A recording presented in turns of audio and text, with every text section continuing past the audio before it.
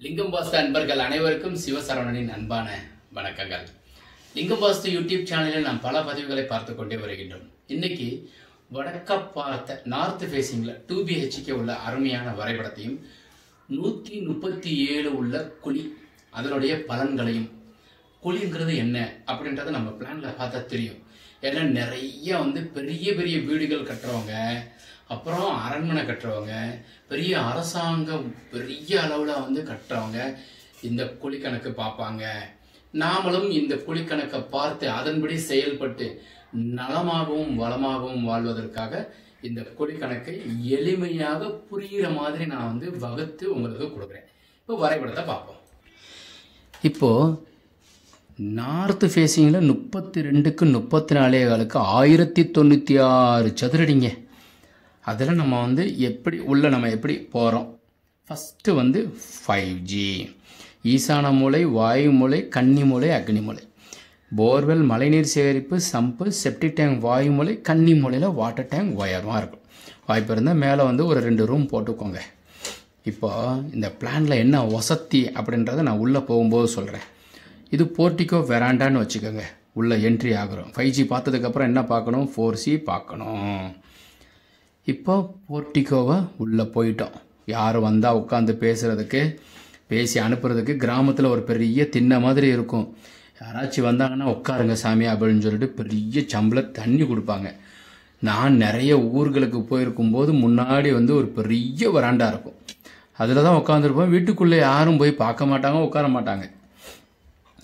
அப்புறம் hall kitchen அக்னி மூலையில் dining மாடிப்படி. நான் இன்னும் இந்த மூளைக்கு வரலைங்க நான் அப்புறம் வர்றேன். ஹால்லேருந்து கன்னி மூலை ஒரு பெட்ரூம் பத்துக்கு பதினாறு. பீரோவை இங்கே வைக்கணும். சரிங்களா? அடக்க பார்த்து வைங்க. வாயு மூலையில் கழிவறை ரெண்டையுமே தாளிட்டோம். சரிங்களா? ஈசான்யத்தில் வாசம். இது ஒரு பெட்ரூம். இதுக்கு பீரோ இங்கே வச்சுட்டோம். இந்த ஹாலில் ஈசான மூலையில் கிழக்கு பக்கம் ஒரு ஜன்னல் வடக்கு பக்கம் ஒரு ஜன்னல். சாமி இங்கே வச்சுருக்கீங்க. ஸோ கிழக்கு பக்கம் அதிக காலியிடம் இடம் மேற்கு பக்கம் குறைவான காலியிடம் இடம் வடக்கு பக்கம் அதிக காலியிடம் இடம் தெற்கு பக்கம் குறைவான காலியிடம். இடம் இவ்வளோ தான் ஃபார்முலா இப்போது நாம் வந்து இங்கிட்டு நிறைய காலி இடம் விடும்போது சூரியன் நேராக வந்து சாமி படத்துக்கு மேலேயே விழுகுங்க. கோவிலில் போய் சிவலிங்கத்துக்கு மேலே விழுகிற மாதிரி உங்கள் வீடை கட்டுங்க. சாமி படத்துக்கு மேலே வந்து சூரியன் விழுந்தால் சூரிய ஒளி விழுந்தால் நோயே கிடையாது. கண் நோய் வராது. திருஷ்டியே வராது. செய்வினை செய்யவே முடியாது. நிறைய பேர் இப்போ வந்து கொஞ்சம் காசுக்கு தேவைன்னா கூட செஞ்சு வச்சிடுறாங்கங்க. செய்வினையால் பாதித்து கொள்ள பேர் என்கிட்ட கேட்பாங்க. அப்போ நான் வந்து இந்த வீட்டை போய் வாஸ்து பார்க்கும்போது அங்கே செஞ்சுருக்கிறதே எனக்கு தெரியும். ஸோ செய்வினை இருக்குங்கன்னு சொல்லுவேன். அது என்ன காரணம் அப்படின்னா பூஜை அறையே இருக்காதுங்க. ஒரு சில வீட்டுகளில் வந்து பார்த்தோம்னாக்கா சாமி முன்னாடி இருக்கிற கதவுல மணியோட டெக்கரேஷனாக இருக்கும். கதவை திறந்து உள்ளே போய் பார்க்குறேன்.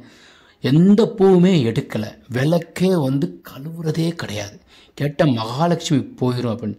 மகாலட்சுமியே அங்கே இல்லையே. லக்னத்துக்கு ஆறில் நான் போகும்போது குரு இருக்கிறாரு. எட்டில் சுக்கரன் மறைஞ்சிருக்கிறார். அப்போ மகாலட்சுமி அங்கே இல்லை. இவங்க நீங்கள் ஏங்க என்னை கூப்பிட்ருக்கீங்கனாக்கா சாமி நாங்கள் ரொம்ப கடனில் கஷ்டப்படுறோம். சாமி ரூமில் விளக்கே ஏற்றுறது இல்லையே காசு இல்லையே.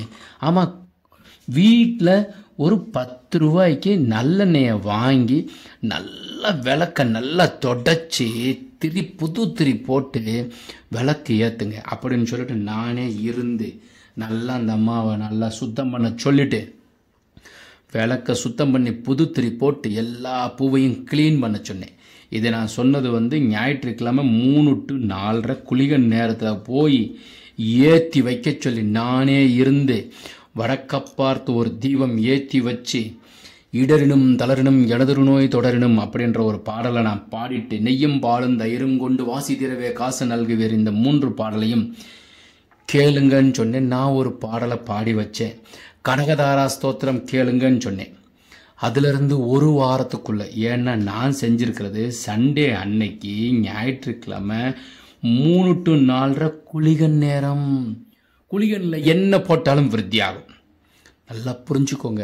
புலி குளிகனுங்கிறவர் மிகப்பெரிய ஒரு வல்லமை படைத்தவர். என்னென்ன போடுறோமோ. நாம் வந்து அந்த நேரத்தில் யாராச்சும் ஒருத்தவங்க தவறி போயிருந்தால் எடுக்கக்கூடாதுங்க. என்ன விருத்தி ஆயிரும்னு சொல்லிட்டு. யாராச்சும் ஒரு ஆளுக்கு காசு நம்ம வாங்கணுமா வாங்குங்க. நகையை போய் வாங்குறீங்களா? நகையாக வந்துக்கிட்டே இருக்கும். அப்புறம் ஆரோக்கியத்திற்கு உண்டான உடற்பயிற்சி ஆரோக்கிய தேடி ஓடிக்கிட்டே இருக்கும். ஆரோக்கியம் நல்லா இருக்கும். இப்போ வீடை பார்த்துட்டோம். பூஜை அறையை பார்த்துட்டோம். உங்கள் வீட்டில் பாத்ரூமை சுத்தமாக வச்சுக்கணும். வாயு மூலையில் இருக்கிற பாத்ரூமை சுத்தமாக வச்சுக்கோங்க. ஒரு டப்பாவில் உப்பு போட்டு உப்பு குளியல் பண்ணுங்கள் நம்ம உடம்புல இருக்கிற கழிவுகள் போகும் தோல் சுருக்கம் போகும். கெட்ட எண்ணங்கள் எப்போ பார்த்தாலும் தேவையில்லாத ஒரு கனவு வருது சாமி. தேவையில்லாத சிந்தனை வருது. எங்கள் வீட்டில் இருக்கிறவங்களுக்கு பெரிய நோய் வர்ற மாதிரி கனவு வந்துச்சு. நீங்கள் அதை பற்றி சிந்திச்சிங்கன்னா வரும். வீடு தப்பாக இருந்தால் வரும் பொருத்தம் இல்லைன்னா வரும். அப்போ உப்பு போட்டு குளிங்க. வீட்டை ஃபுல்லாக குங்குலியமோ அல்லது நல்லா உப்பு போட்டு நல்லா கொஞ்சம் தண்ணி விட்டு நல்லா மாப்பை போட்டு தொடைங்க. முந்தி காலத்துலலாம் நாங்கள் வந்து வீட்டில் வந்து சிமெண்ட் தரதாக இருக்கும். ஒரு ஈசான மூலையில் இங்கே ஒரு குழி இருக்கும் ஒன்றுக்கு ஒன்று எங்கள் பாட்டி நல்ல தண்ணியை விட்டு கம்ப்ளீட்டாக அலசுவாங்க. விளக்கமாற போட்டு நாங்கள் நல்லா கழுவி விடுவோம். அந்த ஓரத்தில் வந்து நிற்குங்க அதே மாதிரி வந்து வீட்டுக்கு வெளியில் இந்த இடத்துல ஒரு சின்னதாக எங்கள் பாட்டி ஒரு லிங்கம் வச்சுருந்தாங்க.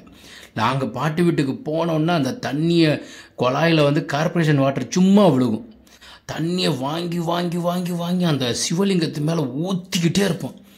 அது கிட்டத்தட்ட பார்த்தோம்னா ஒரு ஆயிரம் குடம் நாங்கள் பசங்க எல்லாரும் சேர்ந்து ஒரு எட்டு பசங்க எங்கள் அம்மாவோட பிறந்தவங்க அஞ்சு பேர். அப்புறம் மாமா ஒரு அஞ்சு பேர் எல்லா பசங்க சேர்ந்து அந்த சிவலிங்கத்துக்கு மேலே ஃபுல்லாக ஊற்றுவோம் அதனால தான் நான் வந்து சிவன் அடிமை எனக்கு எம்பெருமான் பார்த்தாரு. நீ வாடா தம்பி. நீ தான்டா என் கூட இருக்கிறவனுக்கு நல்லது. அப்படின்னு சொல்லிட்டு இந்த கலையை கற்றுக் கொடுத்தாருங்க. நான் உங்களுக்கு கற்றுக் கொடுத்துக்கிட்டே இருக்கிறேன். இப்போ ஈசான மூலை சுத்தமாக இருக்கணும்னு சொல்லியிருக்கேன். தர சுத்தமாக இருக்கணும்னு சொல்லியிருக்கேன். மாடிப்படி வச்சுருக்கிறேன். சரிங்களா? பொருத்தத்துக்குள்ளே போயிடுவோம் பொருத்தத்தை பார்ப்போம்.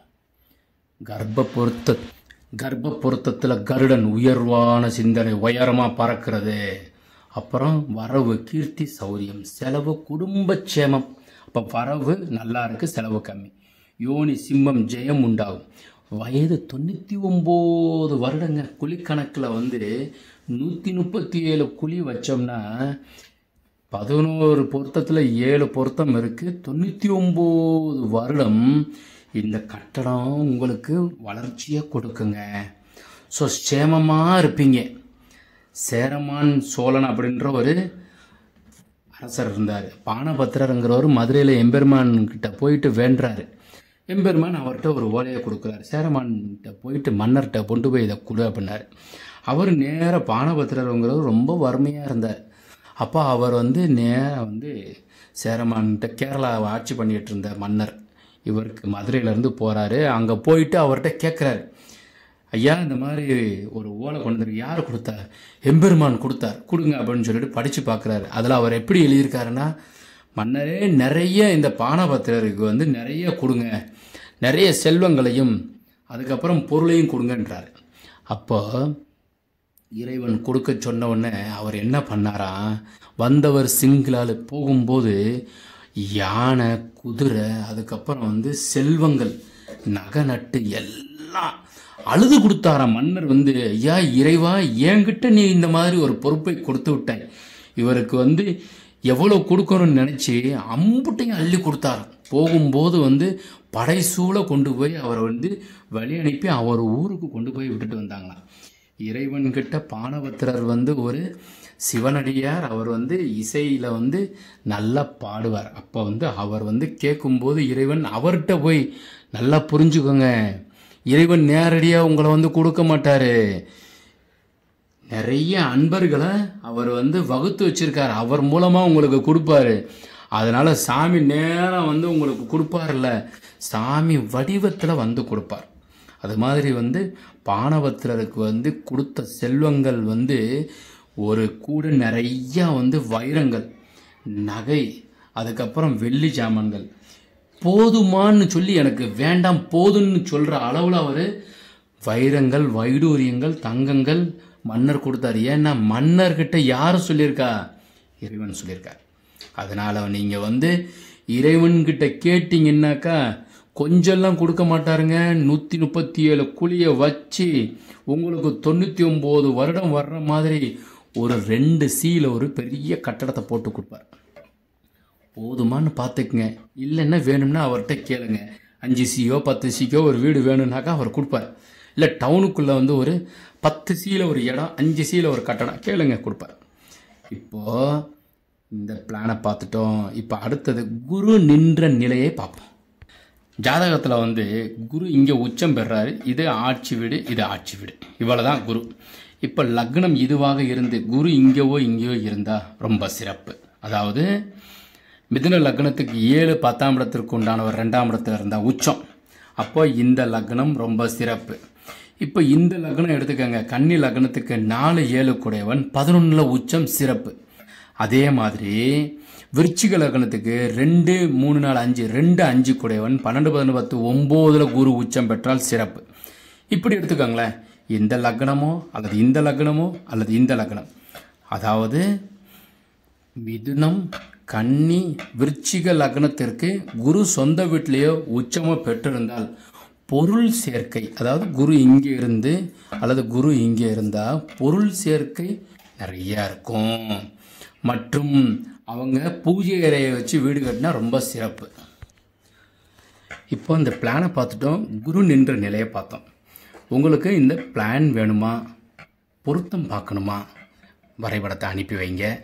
இந்த இரண்டு நம்பர்கள் கொடுத்துருக்குறேன். Double nine five two one double six seven zero six nine three double four one double zero six nine four நிறைய அன்பர்கள் என்ன பண்ணுறாங்கனாக்கா தகவல் ரொம்ப பெருசாக சொல்கிறாங்க சுருக்கி சொல்லுங்கள் நிறைய நான் வந்து பதில் சொல்லிக்கிட்டே இருக்கிறேன். நிறைய வரைபடங்கள் அமைச்சும் கொடுத்துட்ருக்குறேன். பொருத்தம் பார்க்குறதுக்கு ரொம்ப நேரம் ஆகும். அதனால் நீங்கள் வரைபடம் அனுப்பி வச்சிங்கன்னாக்கா பொருத்தம் பார்த்து சொல்கிறது மட்டும் செய்கிறேன் வரைபடமும் பொருத்தமும் பார்க்குறேன். நாங்கள் வந்து மூன்று வேலை நான் பண்ணுறேன் எப்படின்னாக்கா ஒன்றாவது உங்கள் ஜாதகம். எந்த திசையை நம்ம வீடு இப்போ வீடு கட்டலாமா? ஒன்றாவது இடம் வாங்கலாமா வீடு கட்டலாமா? எந்த திசை? ரெண்டாவது வரைபடம். மூன்றாவது பொருத்தம். இந்த மூன்றுமே கலந்து நான் பார்க்குறேன். அதனால் இறைவன் கொடுத்த பணியை சிறப்பாகவும் செம்மையாகவும் சரியாகவும் செயல்பட்டு கொண்டிருக்கின்றேன். நீங்கள் எனக்கு கொடுக்கும் வேலையை சரியாக செய்வேன். வாஸ்துள்ள வீட்டில் வசிப்போம். வளமுடன் வாழ்வோம். மீண்டும் நாளை ஒரு அருமையான வரைபடத்துடன் சந்திக்கிறேன். வணக்கம்.